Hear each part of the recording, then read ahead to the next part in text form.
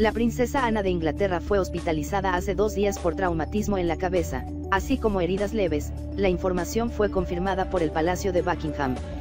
Los doctores explicaron que las lesiones obedecen al golpe de un caballo, lo que aún no determinan es si fue con la cabeza o la pata del animal. Hoy corrió la versión de que habría perdido la memoria por las lesiones en la cabeza a consecuencia del accidente. Los doctores le practicaron exámenes por una conmoción cerebral, destacaron que esto podría ser temporal.